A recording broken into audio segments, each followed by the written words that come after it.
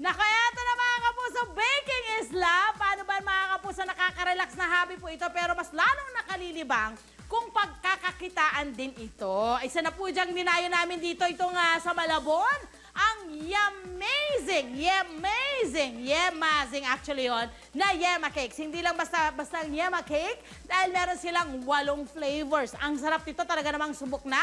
At patunay nga niyan, nasa 1,000 Yema Cakes lang naman ang kanilang nagawa kada araw. Wow, Yema! Ang kanilang sekreto malalaman po natin ngayon this morning, kasama of course ang ating suking suki na si Miss Remily Co. Good morning, Rem! Good morning mga kapuso! Yes. Rems, unang-una, paano ba ang paggawa ng iyong classic na Yema Cake? Ah, pagsasama-samahin lang natin yung ating mga dry ingredients, Okay. yung ating cake flour, Mhm. asukal, Mhm. Yung ating bi- ah, baking powder, Okay. tsaka yung ating asin. Ayan, asin. Bigyan na natin. Pagkatapos ilalagay din natin yung ating pinagsama-sama ditong ah, mantika, Aha. Egg yolk, at saka yung ating vanilla extract Okay. at saka water. Okay. Yan. And then? And then, ihalo natin siya hanggang magpantay-pantay yung mixture. So magiging ganito syempre, na yung magiging ganito na siya niya. pantay-pantay na siya. Ang susunod natin, itatabi muna natin yun. Ang Oo. susunod natin ay... Gagawa tayo ng egg ng foam. So Okay, gamit so ang ating yan? egg white at saka yung ating cream of tartar. Ito na yung so magiging i-mix itsura lang niyan. natin siya. oo. Aha. Mm, Ayan. yeah. Pag na-mix na natin siya, so magiging, Maging ganito yung itsura niya, Yes. foamy. Foamy na Yan yung siya. nilalagay sa ibabaw, Rems na ba? Yan yung pinang... Pwede rin pang design and all. Ayan, Pwede rin. natin. Ayan, mga Pero kapuso. usually ginagamit siya dito. I-fold in natin siya Ayun! dito sa ating...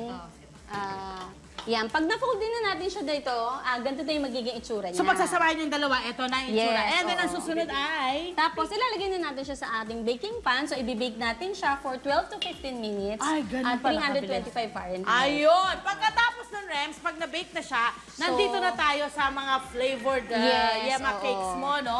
Paano naman to pwedeng pagkakitaan, Rems? Oo. Gawa ito sa 3-layer na chiffon cake. So, hindi ito tinipid sa frosting. Kaya. Yeah. siguro namin nang ma- masasarapan kayo. Oo. So pag nag-umpisa ka ng business mo, how much ang, ang pwede mong Sa puhunan? 2,000 pesos, makakagawa ka na ng 15 pieces Okay. na full roll na yema cakes. Magkano po yung per piece nun if pag Ah, binenta mo 300 na? pesos lang siya per piece. At magkano ang kikitain mo pag... ah, Nabawi mo na yung puhunan mo, tutubo ka pa ng 2,500 pesos. Ayan. Okay, itatagal ng cake mo. Nasa, kung nasa labas or nasa ref, meron bang 3 pagkakaiba? to 5 days. Ah, pag nasa ref. More pa. More Oo. pa, mga kapuso. Ayan! So talagang marami ho tayong pwedeng gawin dito sa kanilang mga cakes. Pwedeng pang regalo, mga kapuso. Meron po silang iba't ibang sizes. Meron silang round, yung ating ah, dedication at yung kanilang ah, single. Magkano yung sa round natin, ah, Rems? Nagre-range siya ng 390 pesos to 3, 400 Ha- something. how about yung dedication? Nagre-range siya ng 575. At yung single natin is how much? 60 pesos. lang. Ayun, mga kapuso. So marami kayong pwedeng pagpilian. Kung pang, Yes. pang pamilya, pang single, ay pwede po kayong makapagregalo, mga kapuso. Mamaya, marami po kaming ibibida sa inyo na pwede niyong pagkakitaan. Of course, mga kapuso, tutok lang po sa inyong pabasang morning show kung saan laging una ka, Remily! Unang hirit! Yes!